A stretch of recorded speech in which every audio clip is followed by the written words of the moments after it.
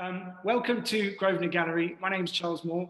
Uh, tonight we are speaking to two people who don't really need any introductions, uh, William, Dalrymple, William Dalrymple and Steve McCurry. Uh, photographs by the internationally acclaimed author and historian are currently on display at Grosvenor Gallery as part of his exhibition, The Traveller's Eye, which runs from the 1st to the 30th of July 2021. Uh, joining William and I to discuss some of the images in the show is Steve McCurry, one of the most iconic figures in contemporary photography for the last four decades. He's responsible for some of the most recognizable photographs of recent times and has traveled South Asia and the globe extensively. I am delighted that you're both able to join me this evening. Um, Steve, come to you first. You first visited India in uh, 1974, is that right? Um, I, can I ask the reason for that first trip and can you sort of put your finger on what it was about the country that captured you and kept you coming back? Well, from a, a young age, I always wanted to travel. I remember looking at old Life magazines from the 50s and the 60s. Um, so that was really my ambition. And during school, I traveled in um, Africa and Europe and Latin America. And so when I started to embark on a freelance photography career, I thought, yeah, where haven't I been? Where where would I like to go?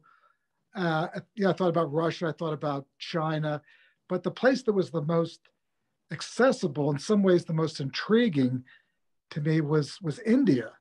Uh, India is such an incredibly diverse uh, country, and I just decided, you know what, I'm going to go there, spend about six weeks, and then I'm going to go over and work in the Mediterranean uh, anyway, that that six weeks turned into two years. I literally spent two years, um, you know, wandering through India, Pakistan, went into Afghanistan, and I was kind of hooked at that point. I kept going back because I it was so, had so much depth to the subcontinent. I kept going back and back, and so this that's like 40 years ago. I've uh, been back dozens of times and I still feel like there's so much more to discover and so much more to learn. Uh, I, I, worked in Tibet and Bangladesh and Sri Lanka and Nepal, but it's just to me that's really the heart of my work and the part of the world that I just love to go back and continue to, you know, learn about and wander and explore. I, I actually I listened to something this morning and an interview with a British chef from India originally, and he said you could live for 10,000 years and not even get close to discovering the secrets of Indian cookery. And, you know, if that's just cookery, yeah, yeah, yeah. um, well, I'd just like to congratulate Willie on this incredible exhibition, but I have to say one thing. Uh, a writer is not supposed to be this good. You know, somebody who spends most of his time, yeah. you know, award-winning books, historian. I mean, incredible. It's just not supposed to work that way. so I, am really quite uh, kind of jealous that somebody who doesn't really spend all of his time photographing is able to come in and, and, and jump into it and actually make astonishingly uh, wonderful pictures. And um, yeah, yeah, there, yeah, we talked about, you know, there's some tradition in writing, uh, writers who have also photographed, you know, there's of course Bruce Chatwin, uh, but, but doesn't, isn't Lewis Carroll, didn't he also um, yep. photograph quite a bit? So you're, you're a good company. I think if we could find um, uh, a Lewis Carroll photograph now, uh, they'd be worth quite a bit of money. So I, I think for any smart collector, the good move, the, the right thing is to jump in early on some of these pictures because it's almost like a getting a stock early in the game. These are only going to go up in value. So anyway, that's my. But you're not, you know, writers don't do this. They, they're not that good.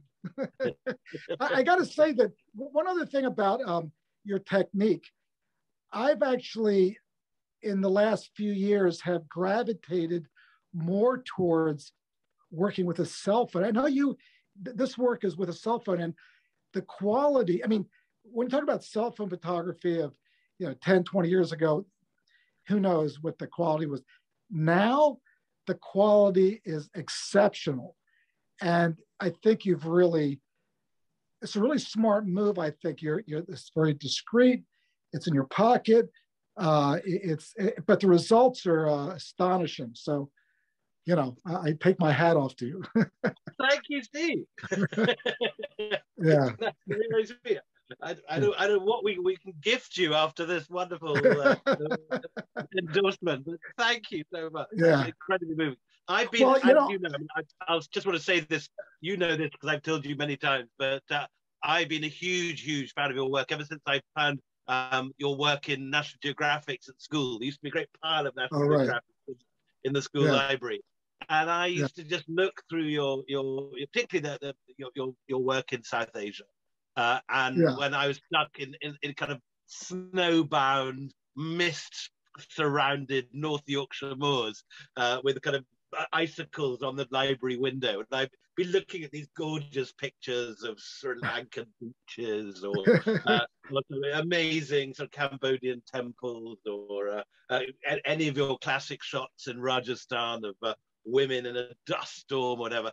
And this was a dream. I mean, one of the reasons I went to India, I think, was to see the world that you'd uh, brought to us yeah. all. And, you know, one forgets that in the 1980s, you know, there was much less around of imagery you didn't have Instagram, you didn't have all this stuff, and and and coming across a National Geographic with your work was a kind of open door, a, a, a kind of uh, an invitation to uh, to follow in your footsteps, and I did.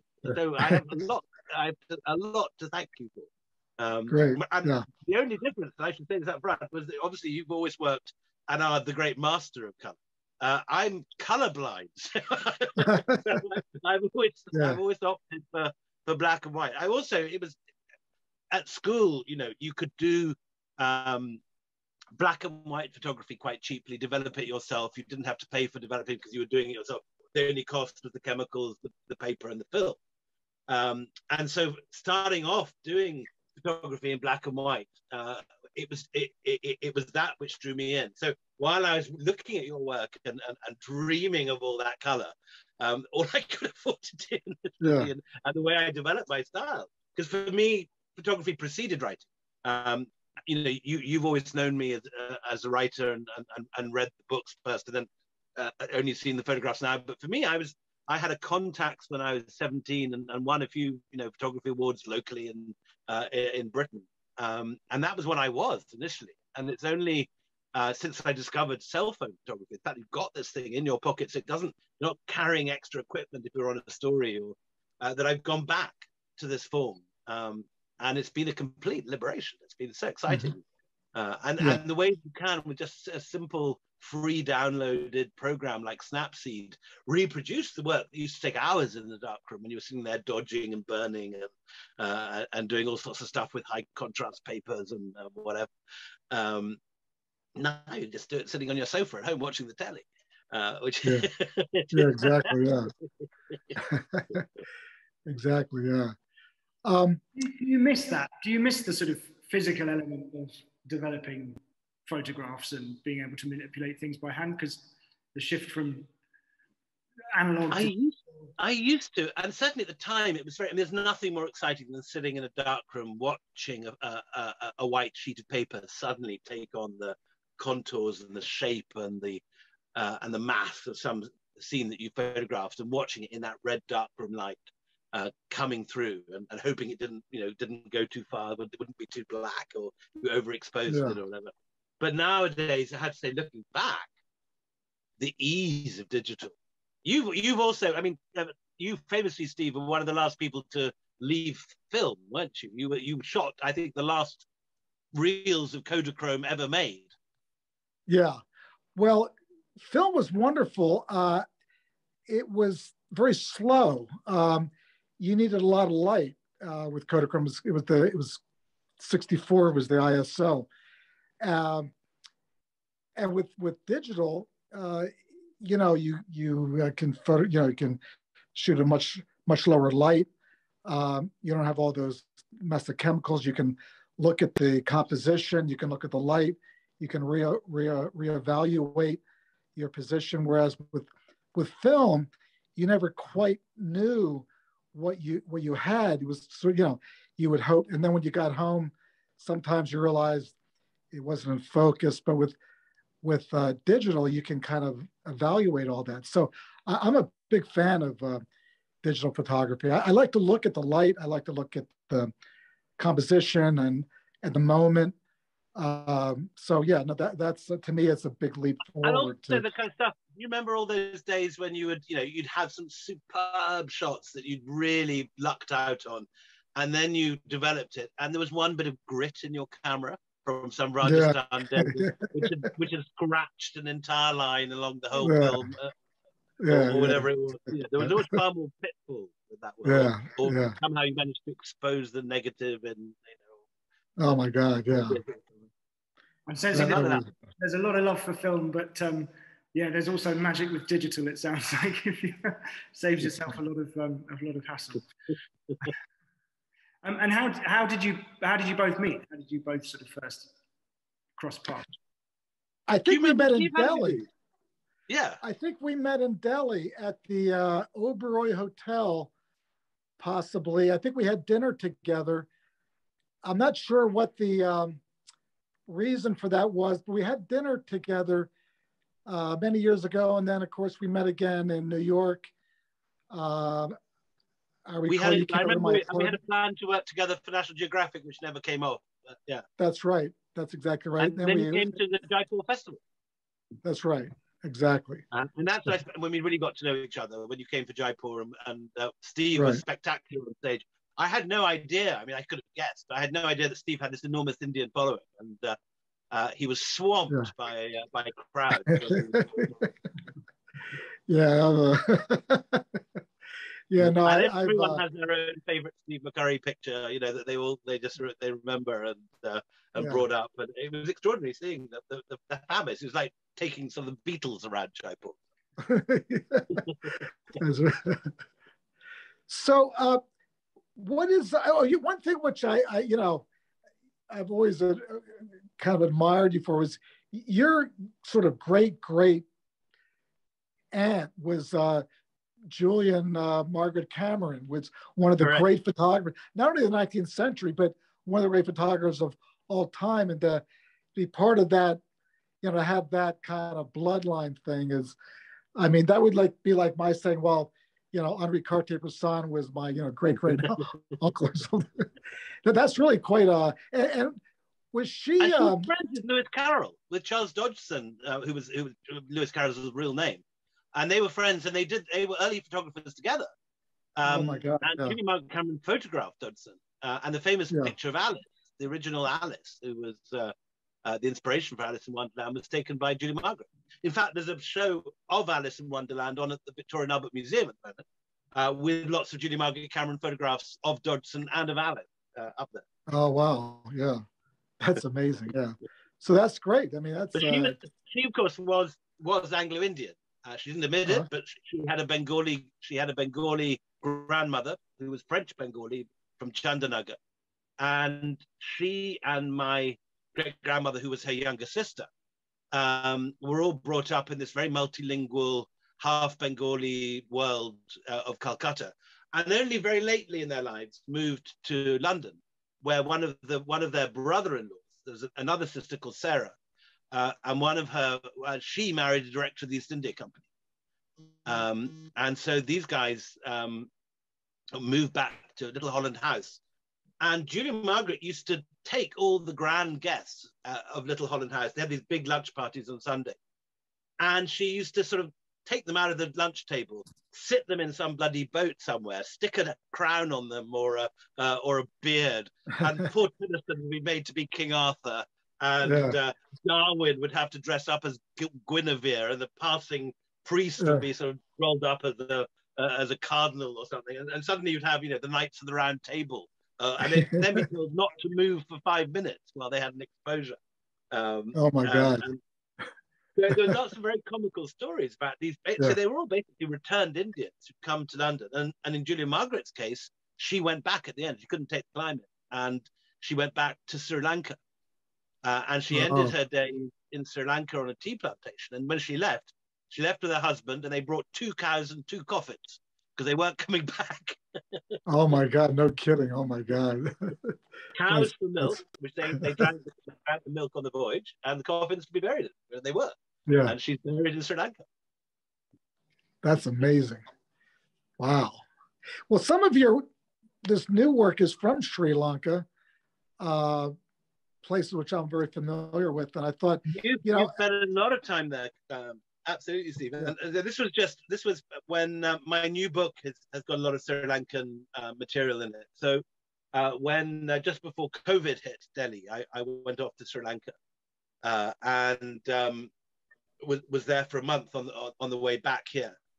Um, and what I haven't been. I covered a lot of the early stuff as a young journalist in the in the nineties with the Tigers, all that sort of stuff.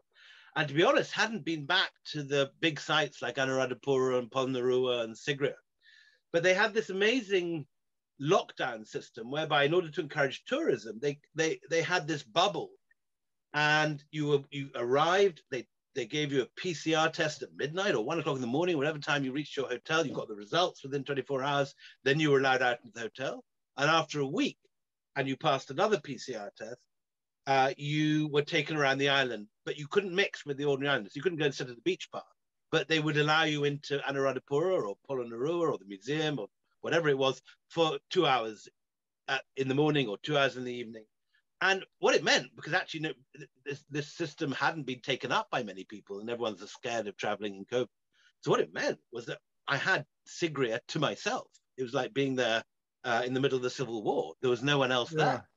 Uh, wow. And uh, ditto Anuradhapura, ditto Polonnaruwa. So I had this amazing two week journey right around the island with, and yeah, while life was continuing as normal, I had the great sights to myself with with my son and was able to take fantastic shots. Plus, it was the monsoon, which, as you know, in Sri Lanka works like clockwork. It isn't like the Indian monsoon, which um, uh, just comes, you know, any time and, and, and drenches everything. It, it's very, it's very uh, kind of well ordered monsoon, and it comes that it sort of yeah. yeah. begins to the clouds begin to mass at three in the afternoon, uh, really heavy by four. You feel it's coming by five, and then about half past five or six, it just opens and uh, yeah. and the rain come down in spectacular torrents and lightning and thunder, and, and you can sit in your balcony with a drink and, and watch this drama.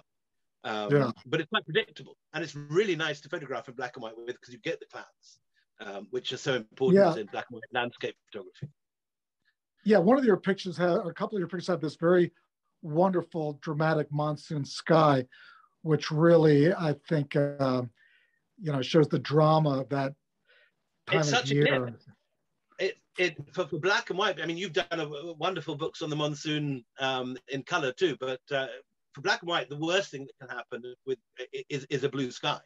Uh, you have this very right. difficult white space uh, uh, that's difficult to do anything with. But if you have monsoon clouds, it adds drama and it looks spectacular.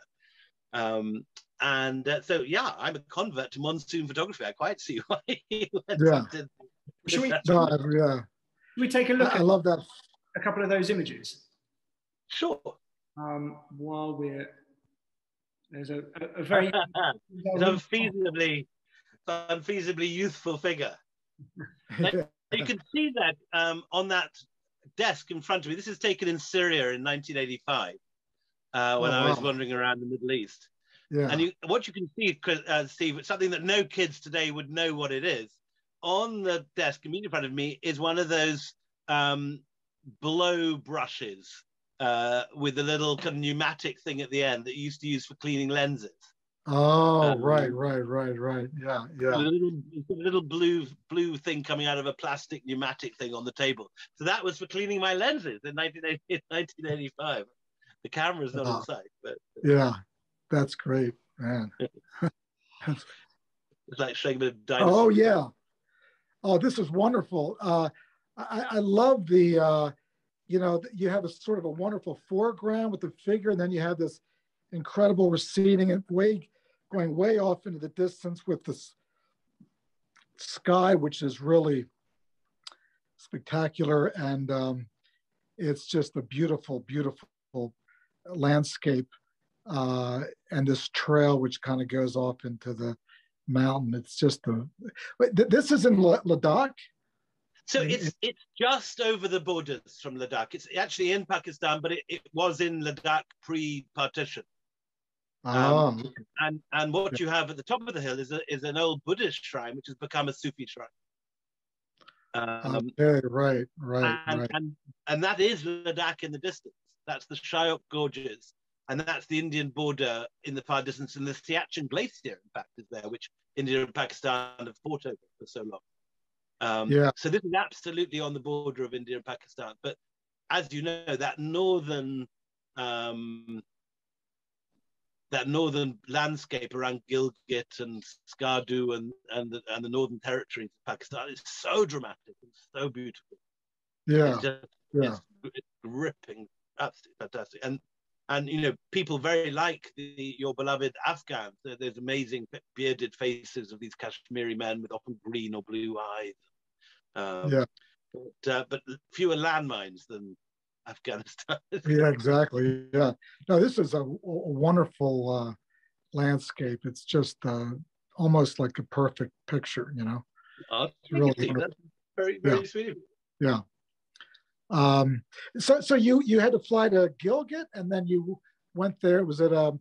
We actually it... we were very lucky. We were I was writing something and, and managed to talk to a friend in um, the Aga Khan's uh, uh, organization who does a lot of work up there, and we ended up very glamorously the only first and only time in my life arrived by helicopter um, oh from God, yeah. from Chitral, and we had this spectacular journey from Chitral over the whole width of Pakistan and landed at Khaplu on the Indian border. So we went from the Afghan border to the Indian border across the, the whole north. I've never had a more dramatic ride anywhere in my life. The whole, yeah. the whole family with me. And we just sat there for, I mean, it was only 40 minutes, uh, but we passed some of the most dramatic landscape I've ever seen ever and yeah. took some fantastic pictures. I mean, it's just these amazing water tables and, and extraordinary mountains still topped with snow. It was wonderful. Yeah. Wow, that's that's great. That's but really good. Get there, to get there by by any any normal route, uh, if uh, if the Khan isn't bailing you out, um, you have to go up the Karakoram Highway to Hunza and then take a right to Skardu. Uh, but it's it's one of the most dramatic rides in the world. It's a spectacular journey. Wow. Yeah, Chitral is really on the Afghan border. Uh, that's really, um, I actually I walked from Chitral into Afghanistan several times. It's just a few hours from there. So uh, yeah, that's great.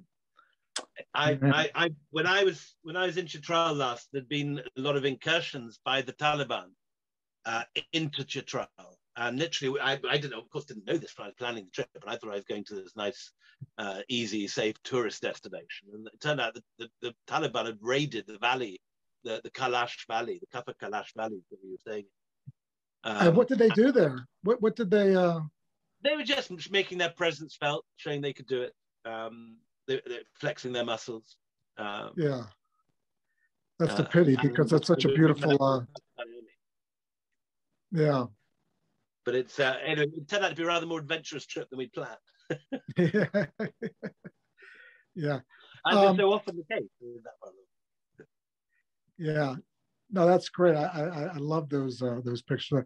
Um, the the one in Delhi uh, you have of the tomb, um, which is quite because um, in in that case, you know, you had this one. I actually photographed that location a couple years ago.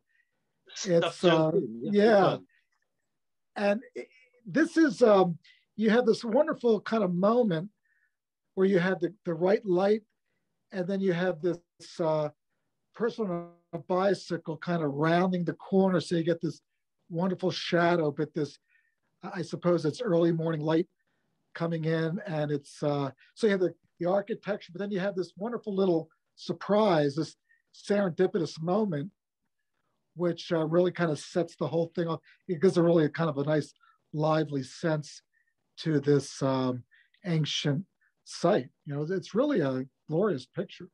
You, uh, you know what it's like when you're waiting for that, when you know that you've got the light right, but you haven't quite got the picture interesting enough. You're waiting for something to happen, and you sit there um, longer than you normally would, wait, waiting for that missing moment. And this is I sat there for half an hour, uh, and then this guy turned up. Bizarrely, the Archaeological Survey of India actually has an administrative office within the within the tomb complex. Uh, and this oh. is one of the local ASI guys going in going to work. oh, okay, right, right, yeah, yeah. Now that's amazing. I love that. In a way, it's uh, it's um, different from some of the other pictures because you do have that kind of um, piece of action that kind of happens by uh, accident into the frame. It's wonderful, really wonderful. It's very yeah. exciting when that happens. When you when you just can add that extra, it, it's it's just you know the, uh, the the cream on top of the ice cream. It's, it's the extra. Yeah, yeah. exactly. Yeah, yeah. That's that's that's right. The, there's another picture. Um, you have uh, Kumara Toli. Um, I, That's right. Yeah, I thought it was really wonderful because you have all these sort of this man who's asleep, so so kind of typical of um, uh, somebody to wrap themselves in a blanket, and then you have all these sort of idols or this um, these effigies or whatever they are, it, and it's so it kind of reminds me of uh, somebody who's has kind of fallen asleep and has this fantastic dream about all these uh, gods and goddesses kind of swirling around. It's it's quite extraordinary. I love that. The, yeah, this is the idol makers quarter of Calcutta, which I'm sure you you photographed. It's a it's a favorite. Raghu Rai is also many famous images of this area, and um, this was actually taken on Durga Puja, which is when which is the great Bengali feast when they take the idols and immerse them in the Ganga. Um, and these, I think, basically are the unsold Durgas who haven't made it. No one's bought them. We haven't completed them.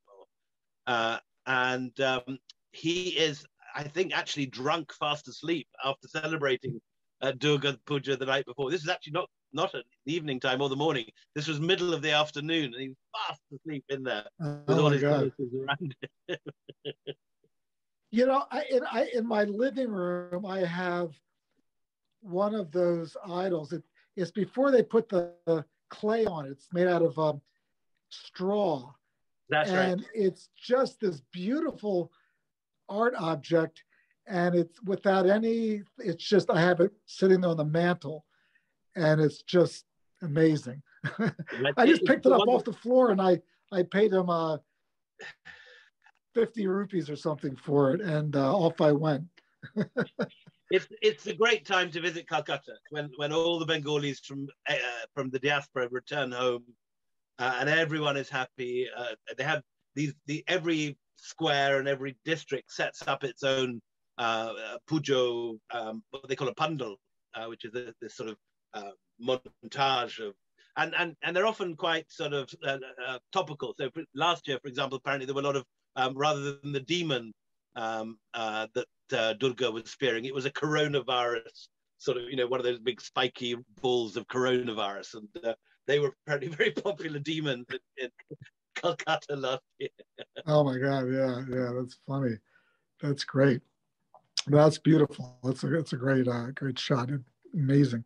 Um, so, uh, how many uh, photographs in the exhibition? Uh, Charlie, do you remember how many? About 50?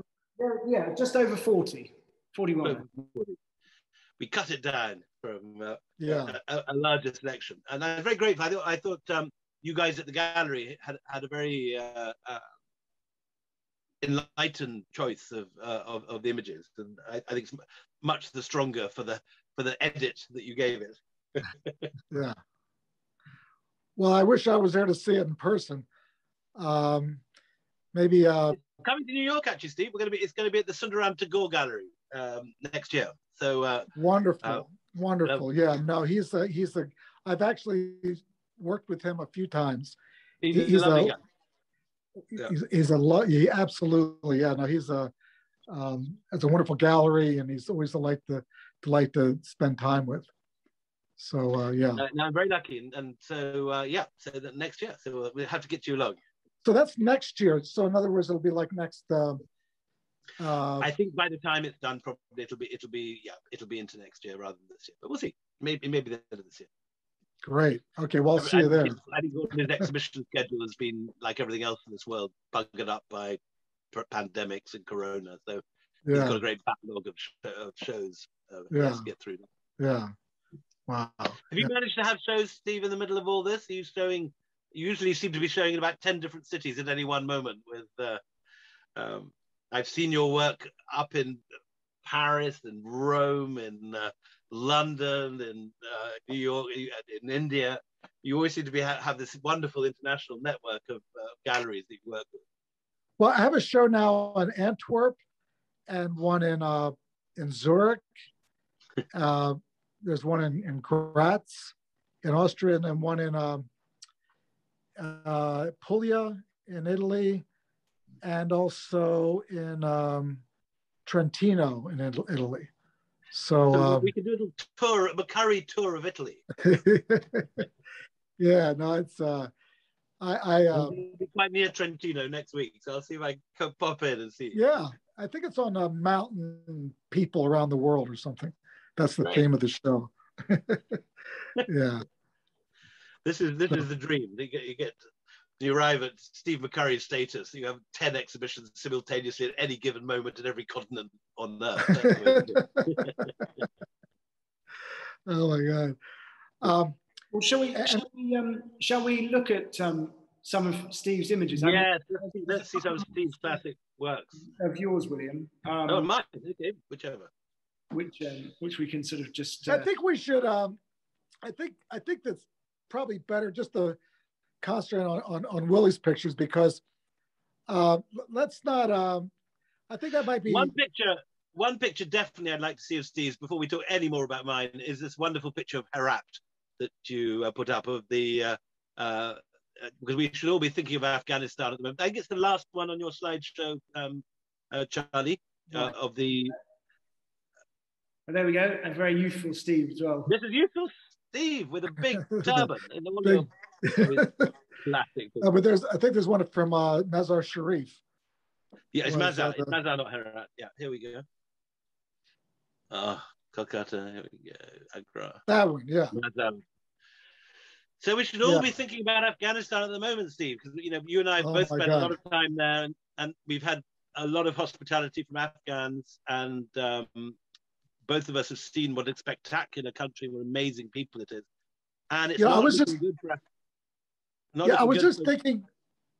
I was just thinking before we uh, spoke about the like the National Museum because uh, the last time the Taliban came to town, they like smashed all the whatever they could smash, uh, statues and sculpture and and uh, pottery, and um, I just wonder if yet again there's another plan to uh, kind of evacuate all that stuff.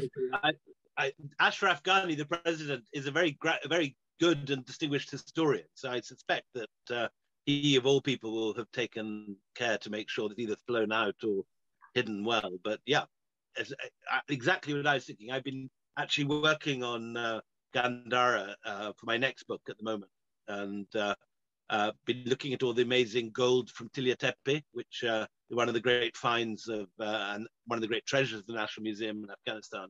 And exactly, yeah. Who, are they burying it? Are they getting it out of the country? It, it, it, they, they can't let it fall into the hands of the Taliban again. Yeah. I, um, you know, there was all those stories about hiding things behind false walls and all. It just, it just seems like can they manage to pull a rabbit out of a hat again? Uh, boy, it would be. Yeah. You know, I, I, I was back there in, uh, you know, 2004, whatever, and they were painstakingly trying to reconstruct these things and um, you know you just wonder what's going to happen next what's going to happen and they have reconstructed i was there a bit more recently than that 2006 or 7 and uh, the kanishka statue which is one of the great treasures with this great baggy pair of shalwar kameez that that had been put back together you could see you mm. see where it had been smashed but uh, they had succeeded in, in, in resurrecting some of uh, of course, yeah. the, the Bamiyan Buddhas will never be resurrected.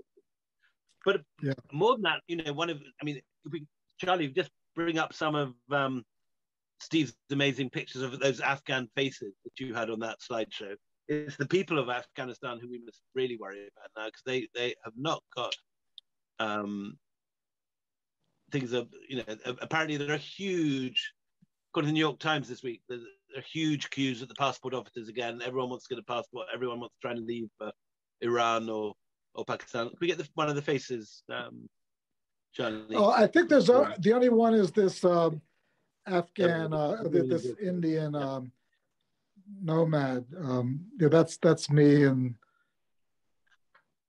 this one, of the book. Uh, your your Afghan book was I think the first time you and I ever worked together. Um, you very sweetly asked me to write the uh, the introduction to that, which was a huge privilege, and I, I remember this yeah. picture. Uh, yeah, yeah. But all yeah. these guys now, you know, very uncertain future uh, and tragic the way that both our countries have pulled out, leaving these guys in the lurch.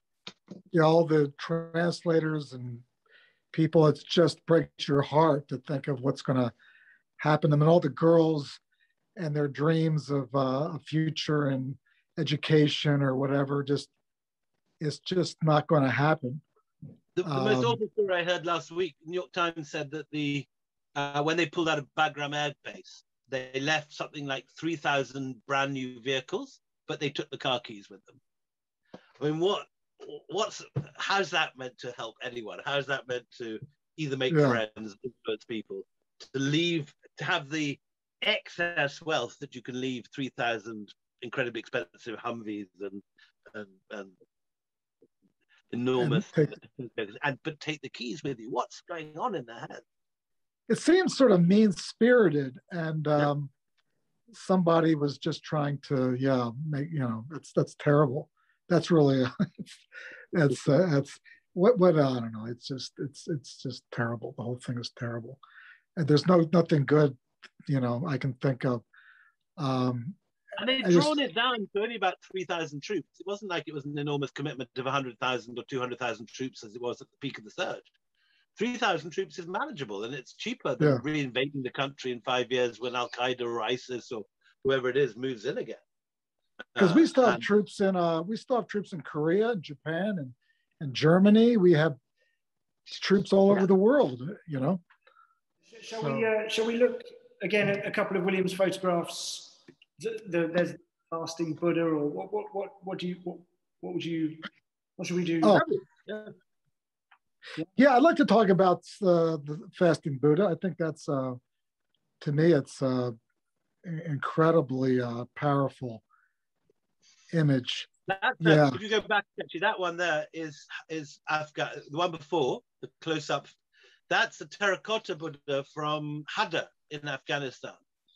Uh, and this is an interesting story because uh, it's in the it's in the Met Museum in New York now, um, and uh, thank God because it was uh, the, the, site of Hadda, which is one of the great uh, Afghan Buddhist monasteries, um, became a Mujahideen command post during the Soviet era, and the Soviets dropped one of their biggest bombs on the site, completely destroying un, unnumbered treasures like this. This incredibly elegant, incredibly refined style of terracotta uh, Buddhas, quite late, seventh, sixth, seventh century at the end of the story of, of Gandharan art.